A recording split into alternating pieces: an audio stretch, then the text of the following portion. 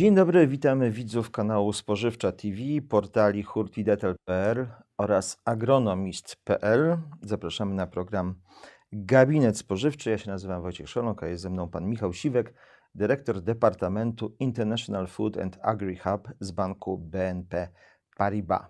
Naszym gościem jest dzisiaj, Państwa gościem oczywiście, jest pan Adam Mokrysz, prezes grupy Mokate. Witamy serdecznie. Dzień dobry. Panie prezesie, minęło 30 lat. Jak pan patrzy wstecz, jakie były takie najważniejsze punkty rozwoju marki przez te trzy dekady?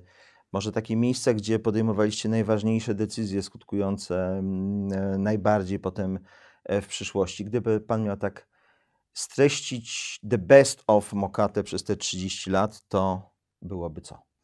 Było wiele takich momentów y, przełomowych czy kroków milowych w historii 30-letniej Mokate. Przede wszystkim jako rodzina budujemy biznes od czterech pokoleń. Wcześniej firma nazywała się Mokrysz od y, naszego nazwiska rodziny. I bardzo dobrą decyzją y, kluczową w 90 roku było przekształcenie firmy rodzinnej Mokrysz w Mokate. Moja mama zaczęła konsekwentnie budować firmę przede wszystkim w Polsce, a potem również w regionie czyli mm, rynek macierzysty. Wejście na rynek macierzysty, wejście z produktem innowacyjnym, takim innowacyjnym produktem na tamte czasy było Mokate Cappuccino. Innowacja, mm, delikatesowa kawa znana z lat 90. Z tego firma e, słynęła. Potem zdecydowaliśmy się jako rodzina wejść na region, na region Europy Środkowo-Wschodniej i Centralnej, tak naprawdę na większość krajów między Niemcami a Rosją.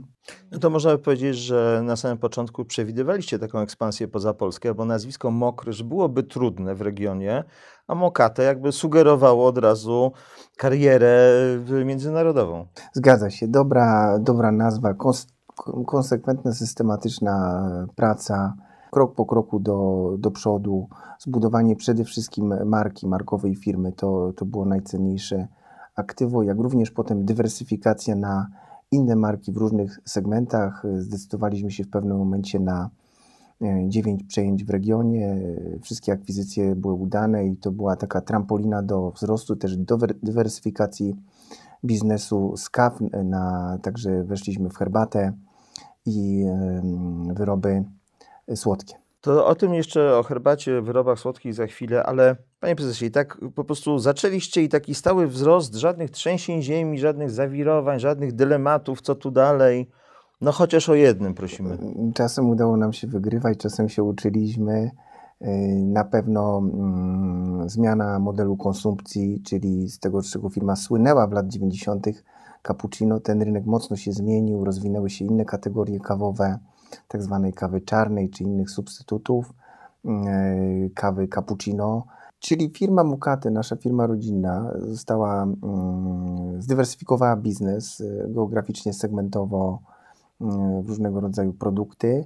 E, pozostaliśmy wierni naszym wartościom, co było bardzo ważne, te DNA rodzinności, rodzinnej firmy, będąc blisko ludzi, tak zawsze uważaliśmy, że trzeba być blisko rynku, blisko klienta, Stworzyliśmy mm, Family Business, zmieniając nasze logo korporacyjne z Mokate na Mokate Family Business, czyli zaprosiliśmy inne rodziny do współpracy, będąc polskim rodzinnym biznesem i zostaliśmy wierni swoim wartościom.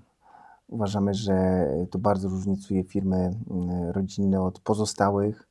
Jeżeli są wartości, jeżeli wiadomo, kto stoi za firmą, jaka to jest rodzina, jakie wartości wyznaje, oprócz tego, czym handluje, ma ogromne znaczenie, ponieważ e, relacje, pielęgnowanie tych relacji i rozwój, perspektywa biznesu jest właśnie w oparciu o, o tą bliskość, e, którą utrzymaliśmy jako rodzina, mimo tego, że udało się no, z małej firmy lokalnej, regionalnej wejść na skalę międzynarodową i zostając e, niezależnym rodzinnym biznesem. Panie prezesie, ja bym chciał te dwa wątki, które pan już tutaj, tutaj podkreślał, czyli i ten family business i to bycie na rynkach zagranicznych dopytać. Bo tak, jesteście jedną z nie aż tak wielu firm rodzinnych w Polsce, które potrafiły odnieść tak spektakularny sukces, nie tylko w sprzedaży w Polsce, ale również za granicą. I tutaj dla widzów może przypomnijmy, że większość Państwa, zdecydowana większość Państwa sprzedaży, bo 70% plus pochodzi z rynków zagranicznych. Jesteście na wielu dosyć z perspektywy polskich producentów żywności odległych rynkach, bo macie stały biznes chociażby w Johannesburgu, czy w Dubaju, czy w tych rynkach dojrzałych europejskich, tutaj bliżej w Wielkiej Brytanii, czy w naszym regionie Europy Środkowo-Wschodniej. Więc jaki jest sukces na tak spektakularny, jaka jest recepta na tak spektakularny sukces w, tym, w, tym, w, tym, w tej obecności międzynarodowej, panie prezesie? Nie ma recepty na sukces. Y, na pewno trzeba podążać y, swoją drogą, być konsekwentnym, y, systematycznym. Każdy kreuje mm, swoją drogę i tak w życiu, tak i w biznesie maluje tak zwany swój obraz, więc Myślę, że bardzo dużą sztuką uważam jest zbudowanie fantastycznego zespołu w oparciu właśnie o wartości, o tą perspektywę, która nas napędza. Ważne jest dostrzeżenie na pewno okazji, okazji rynkowych, czyli w odpowiednim momencie wejście do właściwego pociągu, nadążanie za zmianami konsumpcji, za zmianami rynkowymi, też umiejętność wyprzedzania ich, tak, kreowania innowacji na rynku. To jest y, właśnie nasz case. My poszliśmy tą drogą. Zawsze chcieliśmy rozwijać biznes, nie y, kopiować rozwiązań e, zaaplikowanych przez największe firmy świata, ale, ale i wymyślać innowacje y, i produktową, i związanej z opakowaniem, czy z modelem biznesu, żeby to był konkurencyjny model, żeby dodawał wartości i przede wszystkim ta wartość dla, dla konsumenta i budowanie tego biznesu też w oparciu o, mm, o te DNA rodzinności, z innymi rodzinami, też ze współpracownikami. Ten klient wewnętrzny jest e, szalenie ważny. E, zadowoleni ludzi, którzy budują z nami, e, z rodziną na lata, na to pokolenia. Pan pozwoli, że ja jeszcze o tą rodzinność zapytam.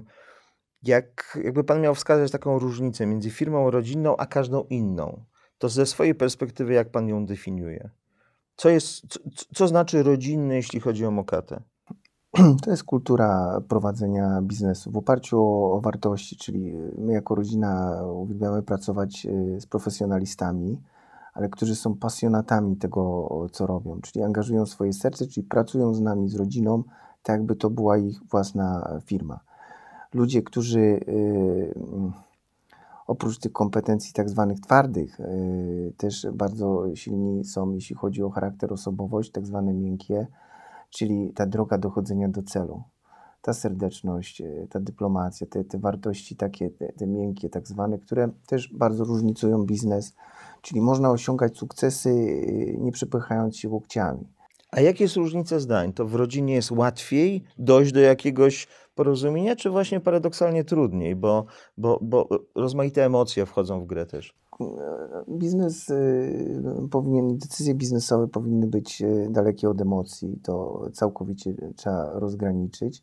Ciężko wypowiadać mi się za inne rodziny, mogę podzielić się doświadczeniem mojej rodzinie że zawsze staramy się i dążymy do tego, żeby biznes był profesjonalny. Chcemy go budować y, z profesjonalistami, nowoczesną firmę, żeby kreować rzeczy, y, napędzać y, się pozytywnie, budując perspektywę firmy rodzinnej.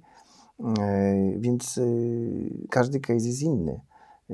Trudno mówić, że ogółem tak, że w firmie rodzinnej czy są emocje, czy ich nie ma. Każda rodzina buduje na swój sposób. My wybraliśmy swoją drogę jako rodzina, czyli pielęgnujemy te wartości. Przede wszystkim e, rozwijamy się dzięki wspaniałym ludziom. Ludzie realizują się zawodowo, cieszą się, dajemy im ciekawe wyzwania, mogą rozwijać skrzydła e, przez to, że inwestujemy w najnowocześniejsze technologie, e, dbamy o, konsumentów, naszych klientów, dbamy o tak zwane szczegóły, które różnicują e, jedną firmę od drugiej, pozostałych.